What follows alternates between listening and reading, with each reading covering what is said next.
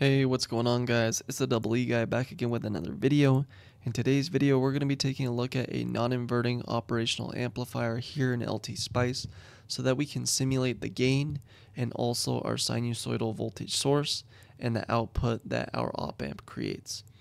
So let's first take a look at some parts here. So here in LTspice, using the shortcut P command, we can take a look at our parts and we're going to have a universal op amp 2 right here. This is pretty standard. We have a negative terminal, a positive terminal, as well as our output terminal. We also have a plus and minus where we need to power our op amp. So first, let's actually get a V positive and a V negative right here to power our op amp. We also are going to need our output pin out here. Using the N command, we can immediately find a pin for this. So we're going to have our output.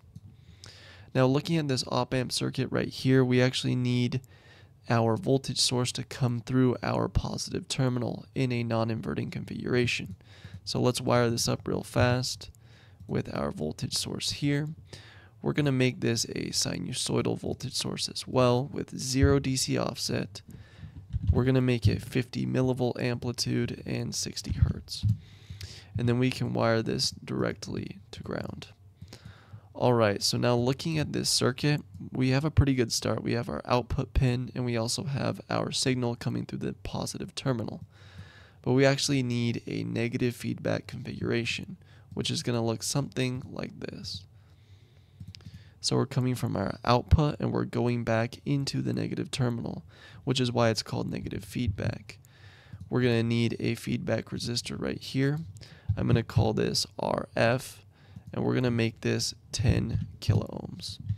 We're also going to need a resistor right here and this is going to be our R1 resistor and it's going to be grounded. Let's also make this 10 kilo ohms.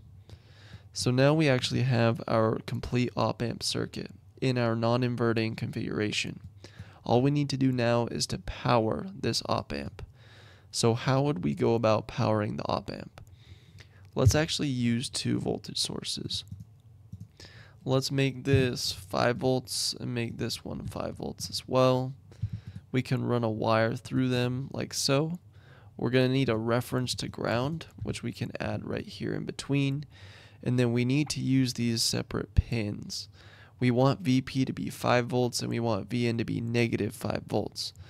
So let's put our pins right here. Our VP here, and we can put our VN here on the bottom. So you see here we have our 5 volts. This is going to be going to VP connected to ground. And we have our 5 volt right here, negative going to VN, the rest going to ground. So this should work, but let's actually test it just to make sure.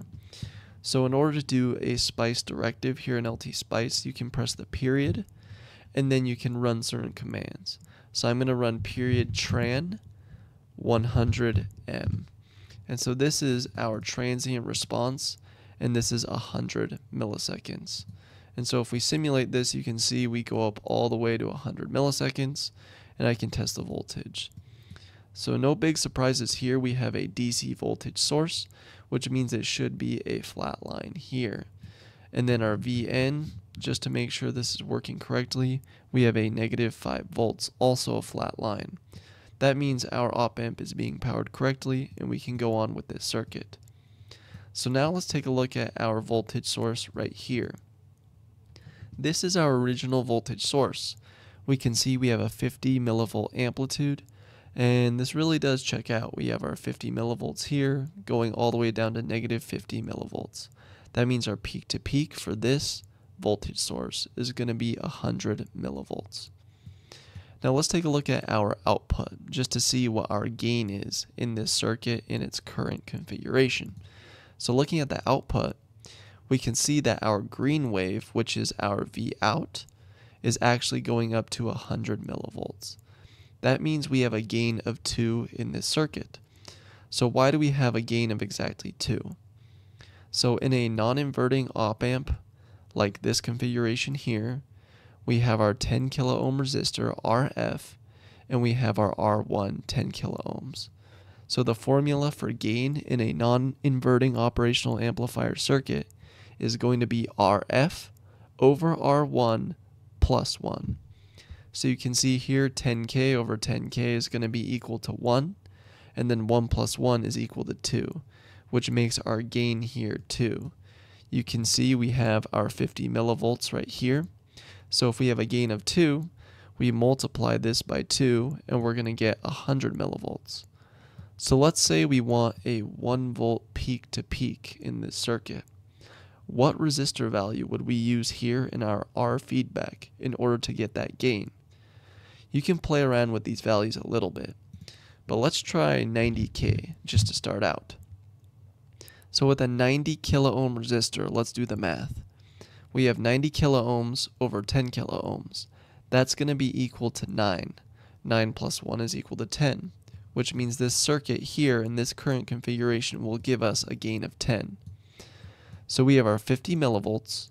If we multiply 50 millivolts by 10, we're going to get 500 millivolts, which means our peak to peak is going to be exactly 1 volt according to this circuit. So let's test it real fast. We can look at our V out and we can simulate this once again and we can see we have 500 millivolts and negative 500 millivolts, which means our peak to peak voltage here is exactly 1 volt. You can see this in comparison to our original signal. This is a significant gain right here. We can see that we started with a blue sinusoid, and now we have our green output sinusoid, which is going to be 10 times our original signal. This is pretty powerful and this shows how our non-inverting op-amp circuit can really help us to get significant gain for different applications.